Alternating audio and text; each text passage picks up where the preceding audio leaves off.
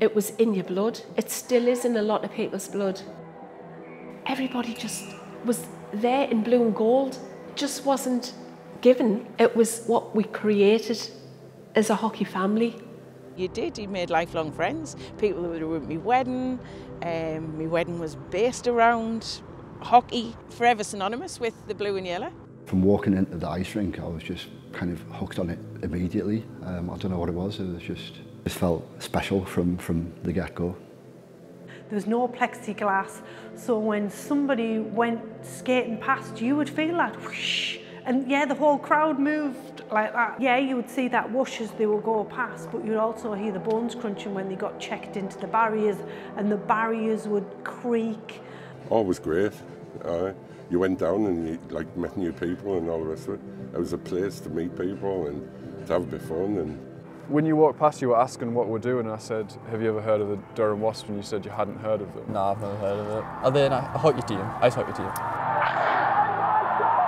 I remember I have looked up like Durham Ice Rink online, but it's one of those things that like there's not really many photos or anything of. Have you heard any of the history of the ice rink or the Wasps?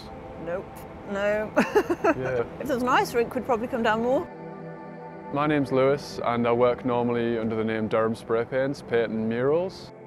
My connection to the ice rink is that my family used to go and I grew up hearing stories about Durham Wasps and how successful they were and how amazing the community was. I've always felt that Durham was lacking that kind of special community space when I was growing up and I want to learn more throughout this project for myself but also to have that record so other people can find out about the history and, and learn about the place that they live. So we're going to be doing an exhibition at Durham Sixth Form Centre. We're going to be filming for a documentary on the history of the ice rink and then we're going to be putting it all together and compiling it to inform a mural in the city centre. Do you know, even now, sometimes I have dreams and, and they're still set in the old rink and it's the old crowd there.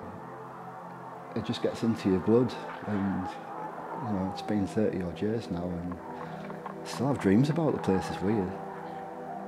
One of the worst things that happened to Durham the Ice Rink Goal, because it did draw people in. We've got nothing like that now. And kids don't realise how, how much they're missing out on something like that. You know, for 30, 40 years, that touched thousands of people's lives, you know. It was the centre of it all at, at that level, yeah. Musty, damp, cold. but it was, yeah, you just you went every week, you just wrapped up a bit warmer, you had your scarf on, your gloves, your hat if need be.